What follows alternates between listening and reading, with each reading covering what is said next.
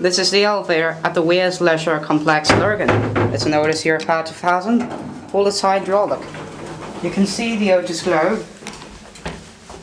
Okay, send up to 1 because 2 is locked. Door does not close when you press the button. I don't like that. Going up.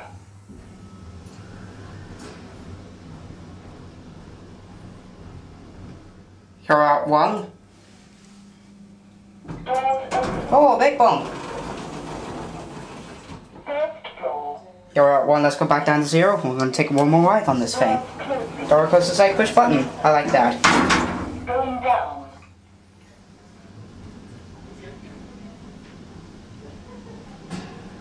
Yeah, that's you. Oh, big bump. Ground floor.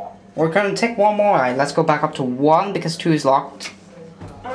Door closes side push button. I like that. 2 speed door. I like that.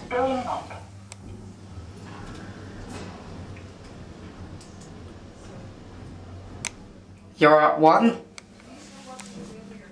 Doors. Oh, big bump. Alright. Let's go back down to 0. Watch this.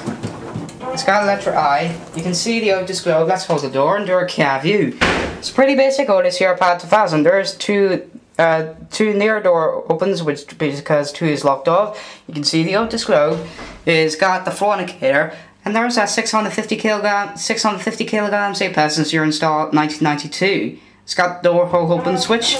It's got the Series 1 fixtures. Let's go back down to zero. Door closes like push button. I like that.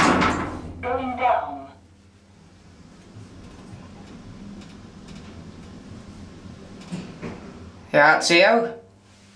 It's got the Europa 2000. Doors open. Big bump. Set it up to one. Watch number real quick. There, watch the elevator goes. There it goes. Now we're gonna watch the numbers.